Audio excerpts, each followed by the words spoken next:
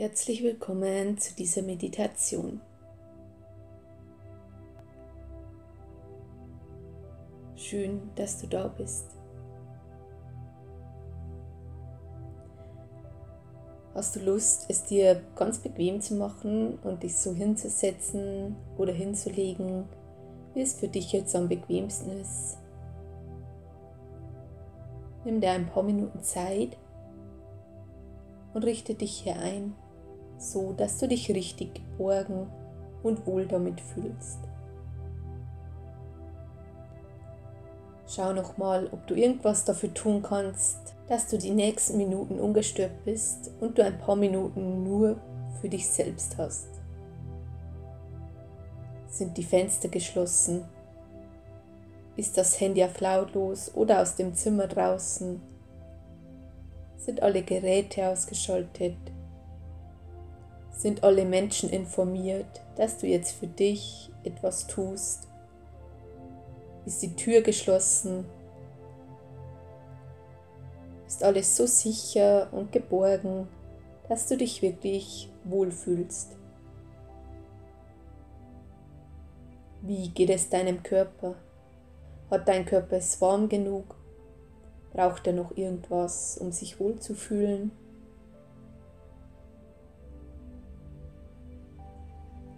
Vielleicht braucht er noch etwas Wärme, Socken, eine Decke, einen Pullover oder was auch immer dir gut tut. Achte mal darauf, ob du noch irgendein anderes Bedürfnis wahrnehmen kannst. Willst du noch einen Schluck trinken? Dann mach das. Brauchst du noch eine Kerze? Dann zünde sie dir an.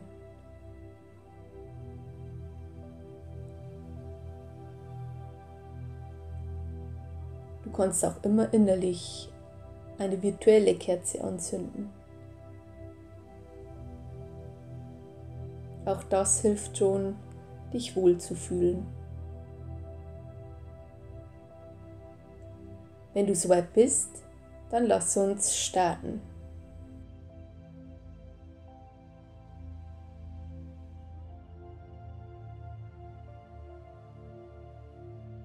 Wenn du magst, schließe sanft deine Augen. Komm in deiner Position einfach mal an. Spür die Unterlage unter dir. Wie fühlt sie sich an? Ist sie weich? Ist sie hart? Welche Kontaktpunkte hast du zu dieser Oberfläche? Wo berührt dein Körper diese Unterfläche?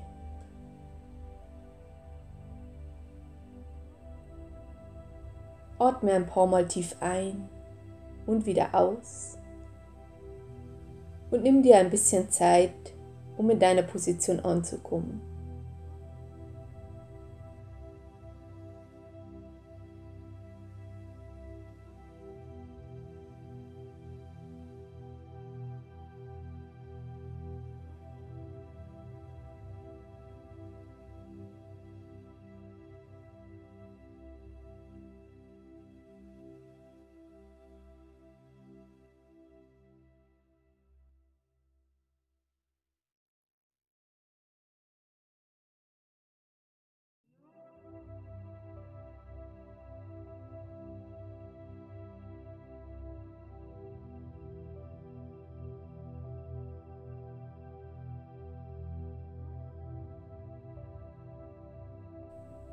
Wie fühlt sich dein Körper gerade an?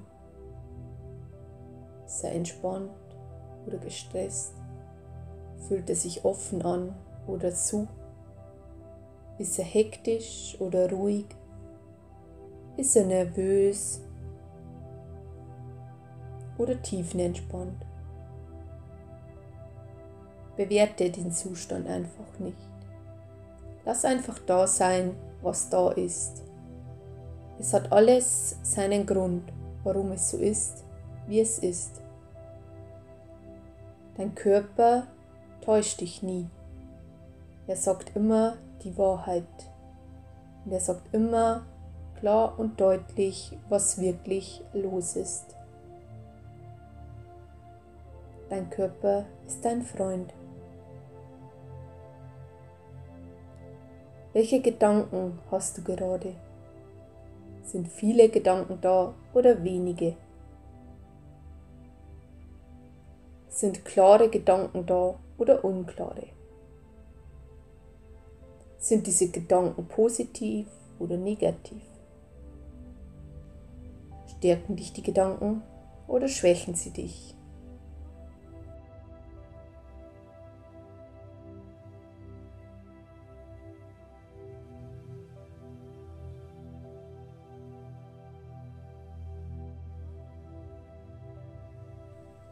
Lass auch das einfach da sein. Versuche es nicht zu bewerten. Auch hier ist es wie mit deinem Körper. Es ist, wie es ist. Und es hat seinen Grund. Und das Wichtigste ist, dass wir annehmen, was ist. Und dann noch deine Gefühle. Welche Gefühle sind da? Hast du das Gefühl, ihnen einen Namen geben zu können? Wie würdest du diese Gefühle benennen? Fühlen sich diese Gefühle vielleicht weit an oder eng, warm oder kalt, gewohnt oder ungewohnt, starr oder weich, sanft oder hart?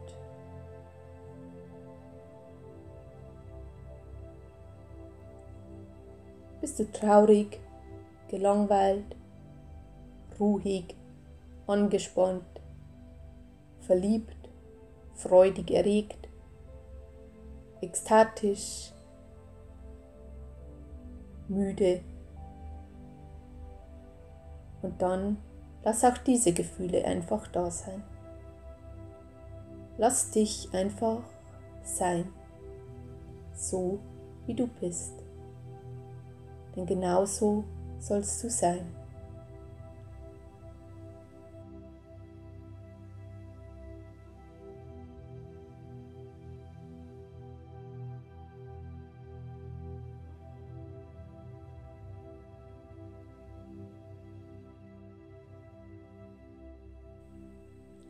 Kannst du dich selbst existieren lassen? Hast du das Gefühl, du gibst dir selber das Recht zu existieren? Kennst du das Gefühl, keinen Raum einnehmen zu dürfen, keinen Aufwand machen zu dürfen?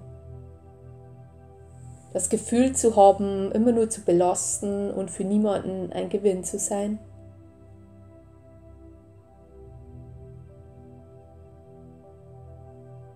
Hast du das Gefühl, sehr wenig nehmen zu dürfen und sehr wenig konsumieren zu dürfen, weil du es dir selber irgendwie nicht erlauben kannst?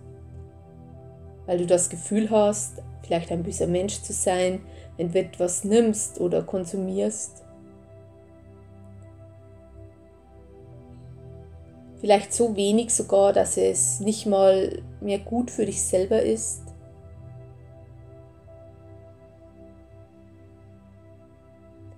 Glaube, dass diese Gefühle daher kommen, dass wir irgendwie als Kind gespürt haben, dass bestimmte Personen in unserer Kindheit nicht mit uns umgehen konnten. Sie waren vielleicht selber noch nicht bereit für uns. Vielleicht waren sie überfordert. Vielleicht haben sie unterschätzt, welche Aufgabe auf sie zukommt und wussten sich nicht zu helfen. Vielleicht war es manchmal auch einfach die Zeit, in die wir hineingeboren wurden. Welche Glaubenssätze und Überzeugungen man hatte zu einem bestimmten Wesen.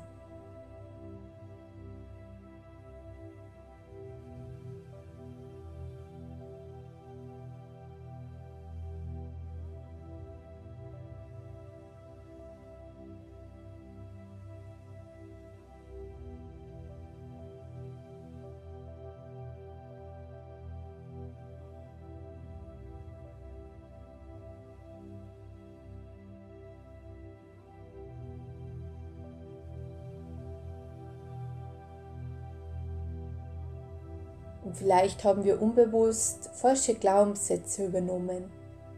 Denn als Kind können wir nicht objektiv beurteilen, dass unsere Eltern überfordert sind, unsere Bezugspersonen die falschen Glaubenssätze über Kinder und Babys haben.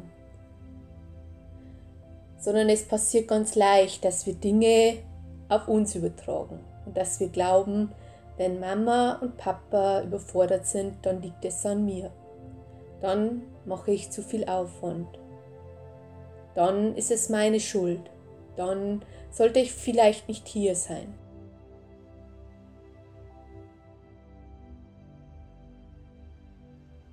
Mach dir einmal bewusst, dass all das, was du vielleicht fühlst in Bezug auf deine Existenz, deine eigene Überzeugung ist, die du vielleicht als ganz kleiner Säugling angenommen hast und die nichts mit der Wahrheit zu tun haben. Es war ein falscher Trugschluss, den dieser Säugling oder dieses Baby erschlossen hat, aus dem, was es von seiner Umgebung gefühlt wahrgenommen und gespürt hat.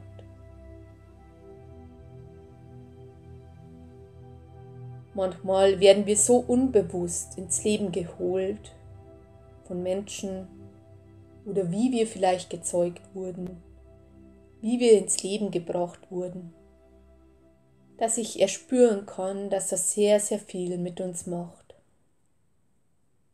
Und dass wir diese Gefühle, die wir vielleicht in den ersten Jahren abspeichern, sehr, sehr viel später immer noch leben und sie zu einer Realität werden, die eigentlich nichts mehr mit dem Hier und Jetzt zu tun hat. Aber ich glaube, solange uns nicht bewusst ist, dass das unbewusste Glaubenssätze sind, die wir sozusagen aus Versehen übernommen haben und nichts mit unserem wahren Wert und unserer wahren Existenzberechtigung zu tun haben, Solange kreieren wir uns immer wieder diese Wirklichkeit, weil sie unsere tiefsten Überzeugungen sind, die wir nach außen projizieren.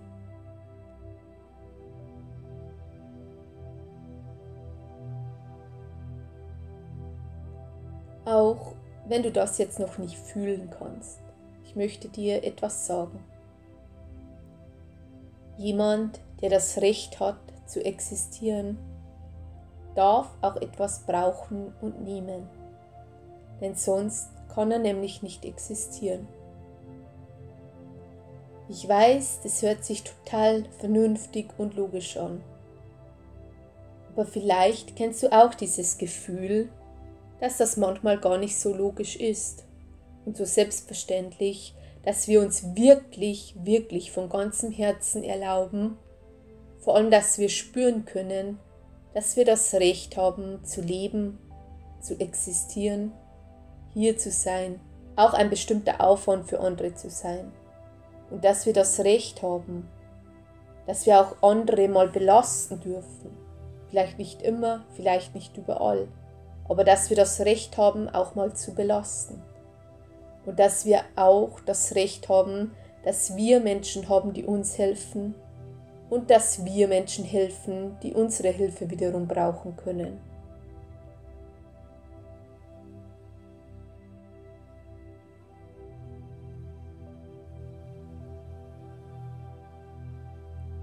Ich möchte dir ein paar Fragen stellen. Du musst darauf jetzt keine Antwort haben. Ich möchte einfach nur diese Fragen in den Raum stellen und du darfst hineinspüren, was diese Fragen mit dir machen. Du kannst sie dir auch nach der Meditation aufschreiben und einfach ganz in Ruhe wirken lassen und dann immer wieder, wenn dir ein Gedanke oder etwas Wichtiges für dich in den Sinn kommt, auf einen Zettel aufschreiben und so Informationen sammeln, wo du das Gefühl hast, das sind Dinge, die du abgespeichert hast darüber.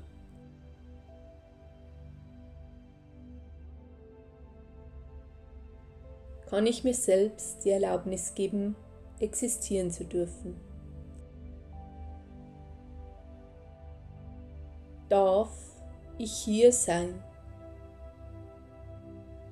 Ist es erlaubt, dass ich hier bin. Darf ich etwas nehmen oder konsumieren, wenn es für mich, für die Umwelt und für andere Menschen in einem gesunden Maß abläuft? Kann ich mir das erlauben? Darf ich als Mensch einen bestimmten Raum auf dieser Erde einnehmen? Ist es erlaubt, dass ich auch bedingungslos einen Raum zur Verfügung gestellt bekomme? Habe ich das Recht darauf, einen bestimmten Raum, einen bestimmten Wohnraum bedingungslos zu empfangen?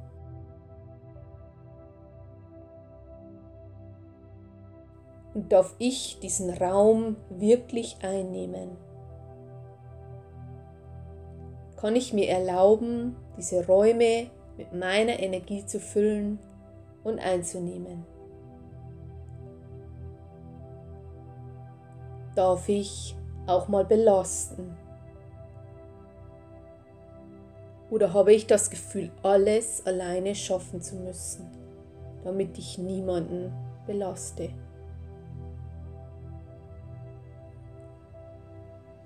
Und wenn ja, wo kann ich mir erlauben, auch mal eine Belastung zu sein? Und wo möchte ich selbst für mich sorgen und handeln können? Was kann ich vielleicht noch nicht, aber ich möchte es zu einem bestimmten Grad lernen? Und was werde ich vielleicht nie können? Und ich brauche dementsprechend Menschen, die dies für mich übernehmen. Kann ich mir das jetzt bereits erlauben? Und wenn nein, was kann ich tun, um es mir erlauben zu können?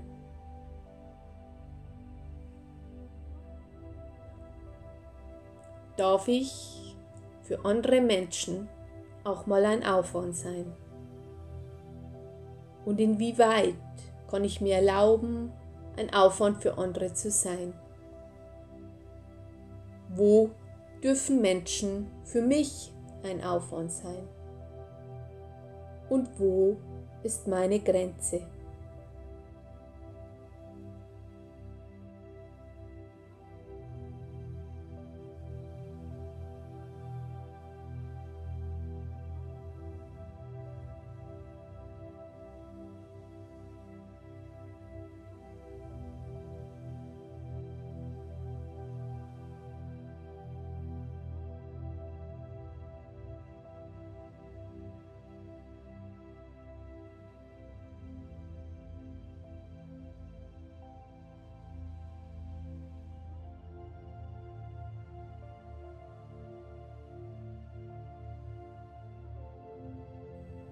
Brauche ich noch Menschen, die einen Teil von mir kompensieren, den ich noch nicht leben kann?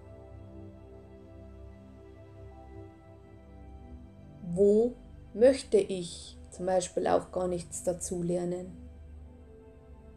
Und ich möchte, dass das ein anderer übernimmt. Und kann ich mir das erlauben?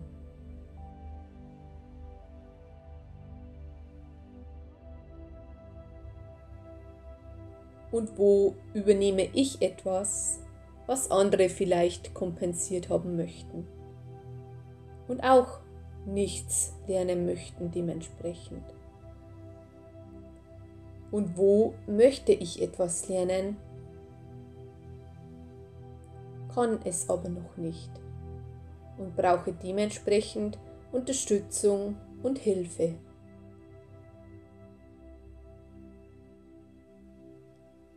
Und gibt es einen Teil in mir, der das vollkommen menschlich und in Ordnung findet. Dass wir alle uns gegenseitig auf eine bestimmte Art und Weise brauchen.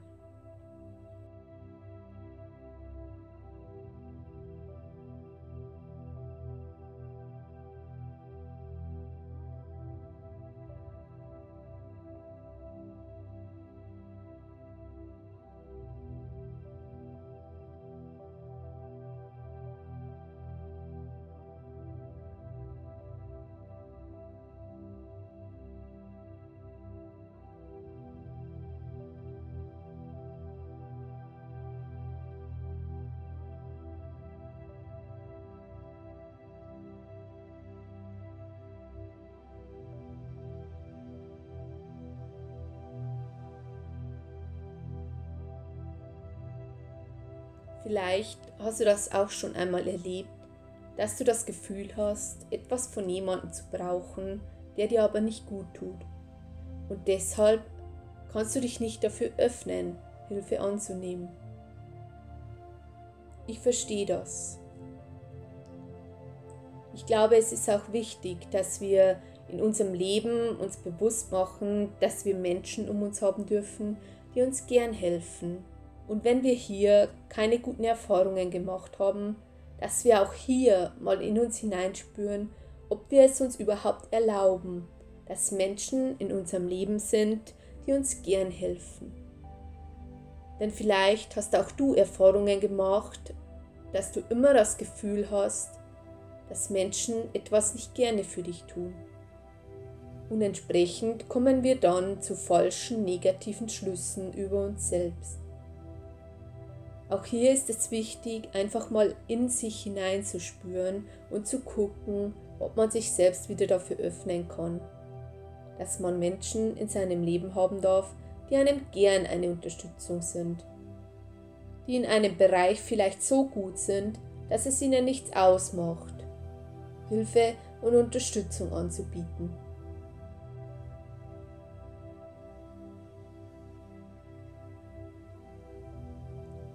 Auch hier ist Kommunikation ein ganz großer Schlüssel. Wenn wir ehrliche Beziehungen zu anderen Menschen aufbauen möchten, dann können wir das sagen. Wir können sagen, wo unsere Schwächen sind und wo unsere Stärken sind. Und Menschen, die uns wirklich lieben und uns wirklich unterstützen möchten auf unserem Lebensweg, die werden uns dann ehrlich begegnen und sagen, inwieweit sie bereit sind, uns zu helfen und zu unterstützen und im Gegenzug kannst auch du etwas anbieten, was du ganz gut kannst. Jeder kann etwas ganz gut. Manche können ganz super gut putzen. Andere können vielleicht super lecker kochen. Wieder andere können sich emotional sehr gut um andere kümmern. Dann gibt es Menschen, die können sehr gut mit Finanzen umgehen. Oder Manche Menschen können gut massieren oder Haare schneiden. Oder, oder, oder. Es gibt unzählige Möglichkeiten. Und auch du hast eine Fähigkeit, die du anderen anbieten kannst. Vielleicht kannst du auch gut zuhören oder viel reden oder einfach liebevoll sein. Es gibt immer eine Stärke, die man in diesem Leben mitbringt und anderen anbieten kann. Und für manche Menschen ist diese Fähigkeit, die du hast, unfassbar wertvoll. Und jeder Mensch hat das Recht, Menschen in seinem Leben zu haben, die das wertschätzen können. Vielleicht ist es nicht für alle etwas, aber es geht darum, die richtigen Menschen zu finden und sich mit Menschen zu verbinden, wo jeder etwas von dieser Beziehung hat.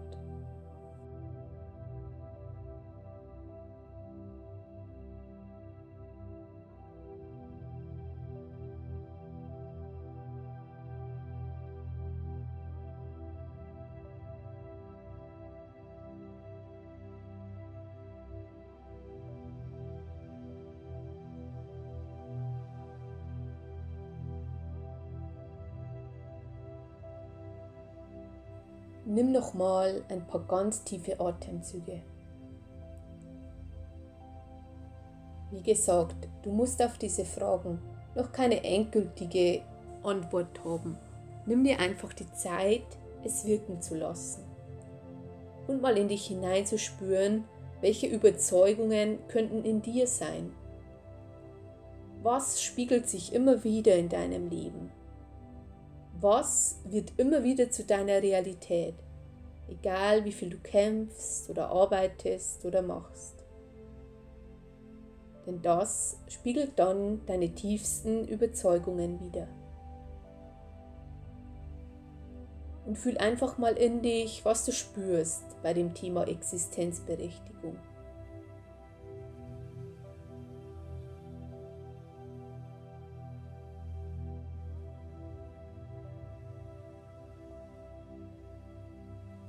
Wenn du magst, leg mal deine Hände auf deinen Bauch oder auf dein Herz oder beides. Ich darf hier sein. Ich darf so viel nehmen, dass ich gesund sein kann. Ich darf so viel Raum einnehmen und haben,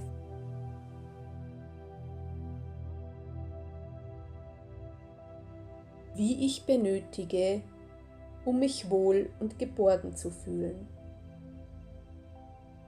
Ich darf auch ein wenig Aufwand machen. Und wenn ich es mir erlauben kann, sogar noch ein bisschen mehr. Ich darf auch hier leben, auf dieser Erde. Ja, ich darf auch belasten.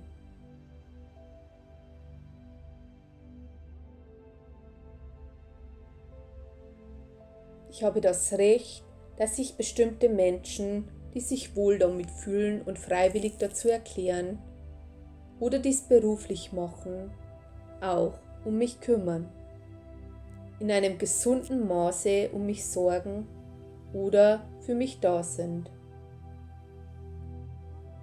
Ich muss nicht alles alleine schaffen, ich muss nicht alles können, um geliebt zu werden. Ich darf ein ganz normaler, unperfekter, unvollkommener, vollkommener Mensch sein, der sich mit Menschen verbindet, die ihn wertvoll finden.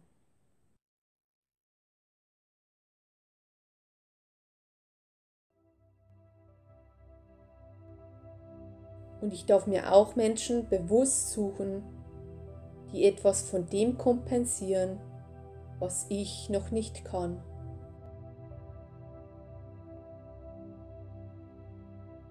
Ich habe das Recht, so zu sein, wie ich bin. Und trotzdem gut behandelt zu werden, respektvoll behandelt zu werden, Wertschätzung zu erfahren und würdevoll behandelt zu werden.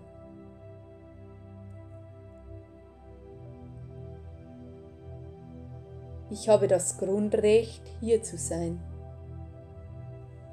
Die Unfähigkeit meiner Eltern oder früheren Bezugspersonen hat nichts mit mir zu tun. Ich kann nichts dafür, dass mich meine Eltern oder Bezugspersonen bekommen haben und mich dann nur als Aufwand gesehen haben. Es war ihre Verantwortung, nicht meine. Es war ihre Verantwortung, sich dessen bewusst zu sein, dass sie ein Leben in die Welt setzen, nicht meine. Ich darf leben. Ich darf hier sein. Ich habe das Recht zu existieren. Es ist nicht meine Schuld, dass andere Menschen mit mir als Baby überfordert waren und sich keine Hilfe gesucht haben. Ich bin auch nicht dafür verantwortlich, wie unbewusst sie diese Entscheidung getroffen haben, mich in ihr Leben zu holen. Ich bin auch nicht dafür verantwortlich, welche Emotionen ich bei meinen Bezugspersonen auslöse, wenn ich als Baby etwas brauche oder benötige.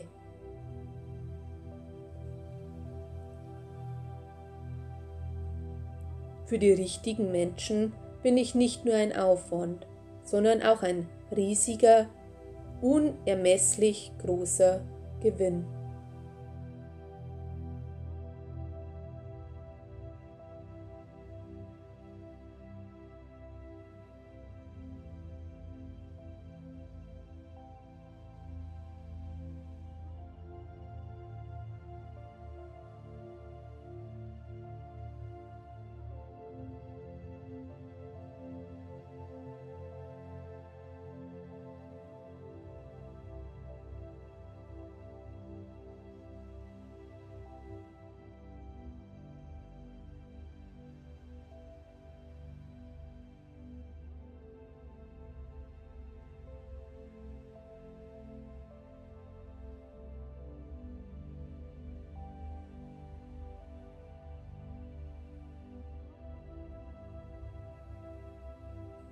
Alle Gefühle, die da sein möchten, dürfen jetzt da sein. Du bist in Ordnung, wie du bist.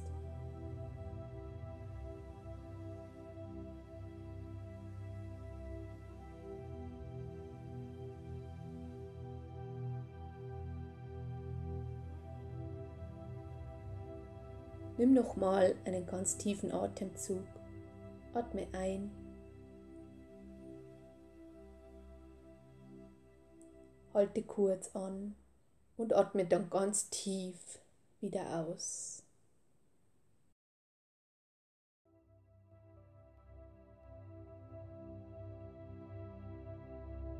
Fang an, langsam deine Umgebung wieder wahrzunehmen.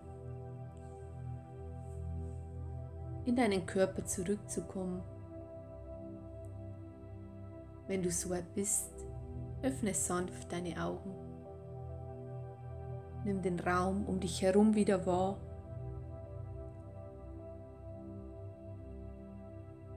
Vielleicht, wenn du gelegen bist, vielleicht magst du dich langsam aufsetzen und dich in den Schneidersitz setzen deine Hand auf dein Herz legen und dich nochmal bei dir bedanken, dass du dich bereit erklärt hast, in diese tiefe Meditation einzutauchen.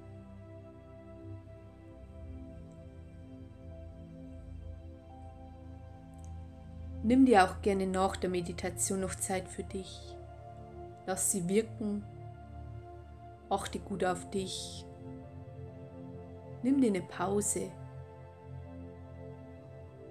damit das, was wir gerade gemacht haben, auch wirken kann.